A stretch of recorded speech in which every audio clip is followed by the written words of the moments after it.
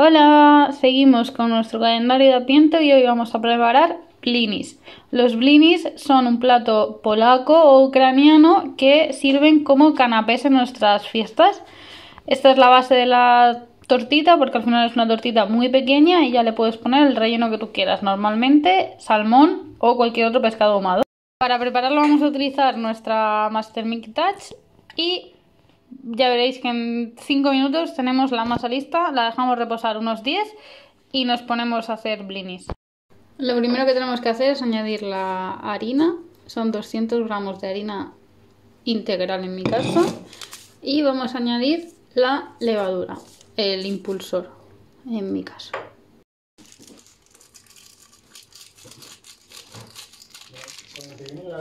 A continuación vamos a añadir 200 mililitros de leche de la que tú quieras.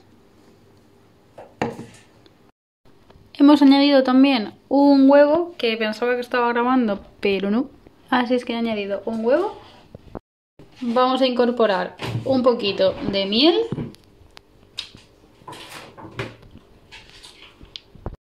Y ya por último vamos a añadir la mantequilla. Como veis esta receta es súper sencilla, no tiene ningún ingrediente raro. Así es que lo vamos a tapar y vamos a mezclarlo todo. Vamos a programar 30 segundos a velocidad 5.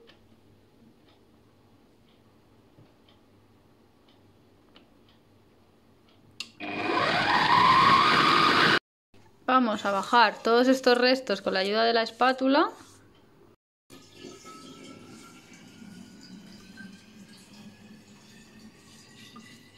Ahora vamos a programar de nuevo 15 segundos a velocidad 5.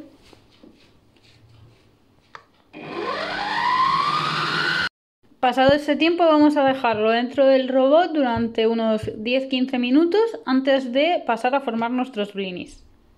Ahora en una sartén antiadherente vamos a poner un poquito de mantequilla o aceite de oliva o de girasol, mejor de girasol para que no le aporte mucho sabor a los blinis y vamos a ir dándoles forma. Con ayuda de una cuchara vamos a ir haciendo pequeños circulitos del tamaño de nuestros canapés. En cuanto veáis que empiezan a hacer burbujitas ya les podemos dar la vuelta. ¿O no?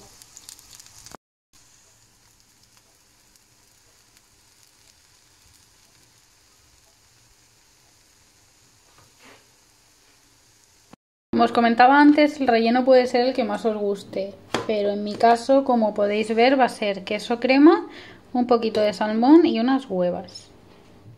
Esto no tiene ninguna ciencia, simplemente vamos poniendo un poquito de queso crema sobre cada blini. La ley de Murphy.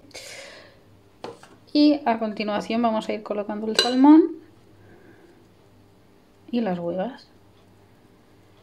Esto podéis poner a los más peques, ayudaros y que se den cuenta de el, el valor que hay cada comida que hacemos y sobre todo las cenas especiales. Vamos a poner un poquito de salmón.